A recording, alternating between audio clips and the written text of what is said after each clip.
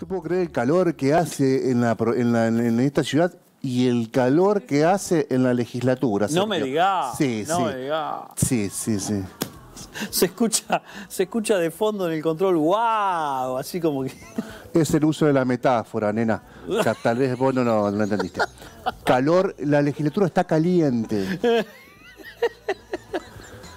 Hace Hace calor. calor en la legislatura. Claro, claro, claro. Me imagino. Me imagino. ¿Cómo? ¿Por qué hace calor, ¿Por calor qué, en la legislatura? Porque hay un, hay un senador que tiene un- un- una garrafa y un soplete. El senador se llama Armando Traferri. El Pipi.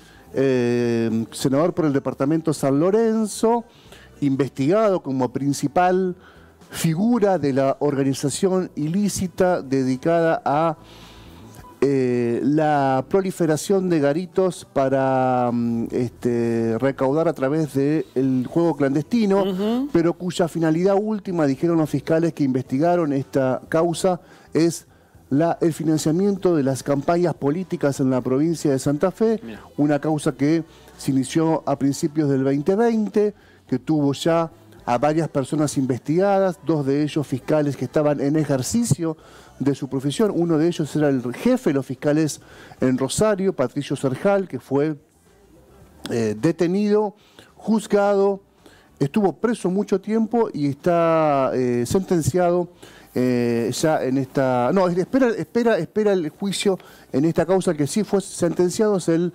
fiscal de primera instancia, Gustavo Ponce Assad, que fue investigado, que fue condenado y que estuvo mucho tiempo también preso. Eh, condenado en un juicio abreviado, es decir, que aceptó su responsabilidad. Aquellos que nos vienen siguiendo, ustedes saben que había un... hay una persona relevante en este sentido como jefe de la pata civil, podríamos decir, del juego clandestino, llamado Leonardo Peiti, que también ya fue condenado eh, y eh, en este proceso judicial. Otra pata de saco y corbata del- dentro del Ministerio Público de la Acusación, Gustavo Ponce Assad, ya condenado, ex fiscal, y Patricio Serjal, el jefe de los fiscales de Rosario, ex jefe de los fiscales, también esperando su proceso. Y hay otra pata, en este resumen hiper rápido, hay otra pata que es la pata de la política. Hay una, hubo varios investigados, entre ellos el ex diputado provincial Darío Scataglini, que estuvo, eh, tuvo que comparecer y además estuvo un par de horas detenidos en el marco de esta, detenido en el marco de esta investigación y principalmente Fue Armando su domicilio incluso. fue allanado dos veces su Sí, domicilio, claro. el de Darío Scataglini, en la ciudad de Santa Fe. Y el principal, mm, la principal jefatura que identificaron los fiscales en todo este proceso es la de Armando Traferri. ¿Por qué Traferri no pudo ser, no pudo comparecer ante la justicia? También lo explicábamos dur- durante muchas, eh, eh, muchas ocasiones.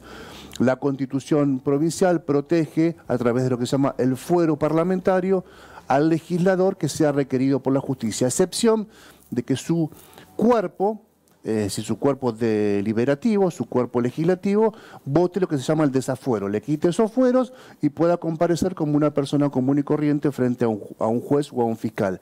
Esto no sucedió porque el Senado, cuando tuvo que votar el pedido de desafuero de Traferri, por 14 votos bancó la parada y protegió a Traferri para que no comparezca. Si Traferri hubiese ido a declarar frente a los fiscales, hubiese quedado detenido. Esto es importante decirlo y no es caprichosa nuestra interpretación porque si fue detenido Peiti, que era el empresario del juego ilegal, si, fue detenido, si fueron detenidos y condenados, por lo menos en un caso, dos fiscales provinciales en ejercicio de su cargo, ¿por qué no Traferri iba a quedar detenido si comparecía este, frente a la justicia en el momento que se lo requirió, allá por noviembre del 2020? Es decir, en plena pandemia, en plena... Este, mm, en plena, sí, en plena pandemia de, de COVID-19. Sí, claro.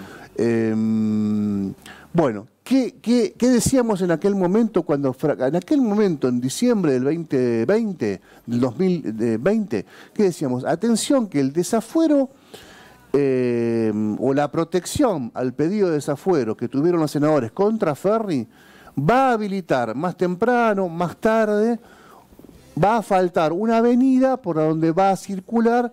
Sin- este, despacito, pero sin pausa, un pedido de eh, destitución de los fiscales Echapapietra y Matías Edri. Lo decíamos esto no con, el, no con el ánimo, no motivado por el deseo de que esto suceda, sino por haber leído dos o tres cositas, dos o tres cuestiones, cómo se había movido la política y la justicia en aquel momento, cómo se movió Traferri, cómo se movió Rafael Gutiérrez, el presidente de la Corte, cómo se iba moviendo los, la estructura de poder dentro del Senado, que no solamente es el peronismo, sino también la Unión, parte de la Unión Cívica Radical.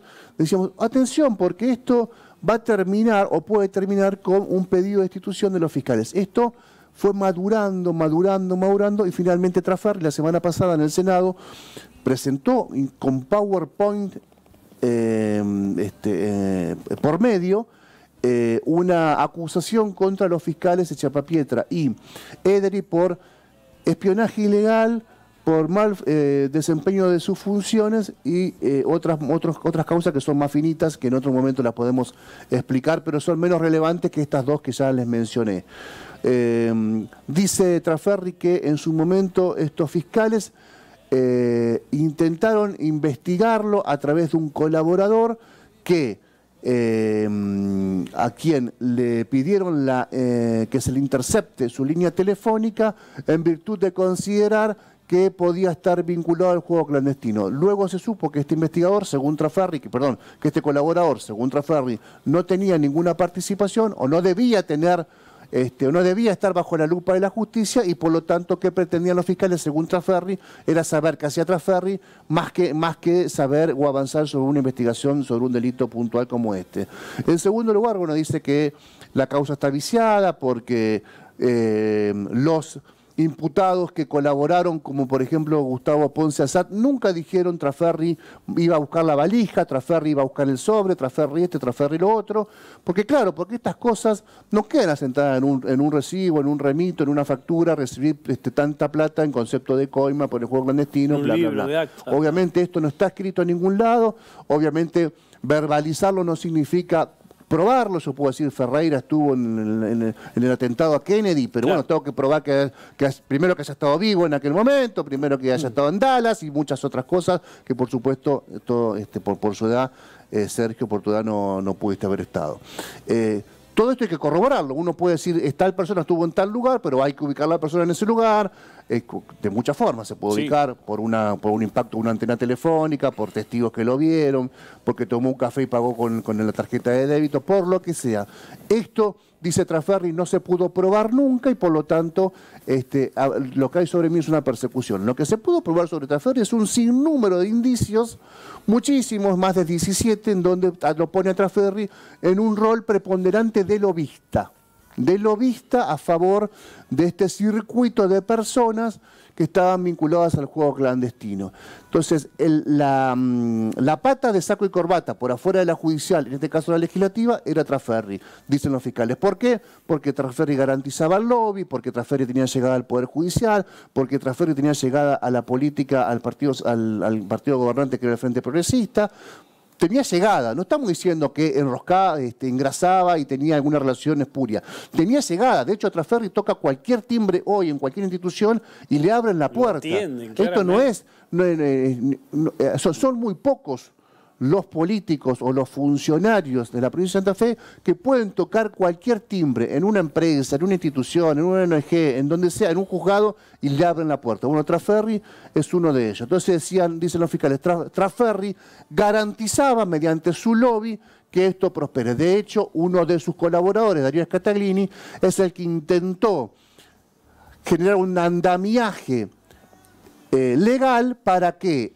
una empresa de Peiti dedicada al juego online pueda licitar, pueda participar de una licitación que había abierto la Lotería de Santa Fe para el juego eh, online. Esto se frustró porque Peiti ya era la mancha venenosa en ese momento. Ya estaba sindicado como el SAR del juego el ilegal, el SAR del juego clandestino, y esto no prosperó. Pero que dejaron todas las huellas de su interés, esto está bastante claro. Para redondear, porque se nos termina el, tiempo y la hora de las 3, el corte de las 3 se viene, eh, atención, atención porque la legislatura sigue ostentando el poder de sanción disciplinaria a los fiscales, si bien hay intención de modificar esto a través de proyectos, por ejemplo, de Matilde Bruera y de Fabián Palo Oliver, sigue teniendo esta potestad la legislatura, atención porque Traferri sigue conservando su, y, más reforzado que nunca, su estructura de poder, eh, de distintos poderes en distintos lugares de la provincia de Santa Fe, y, atención porque veremos cómo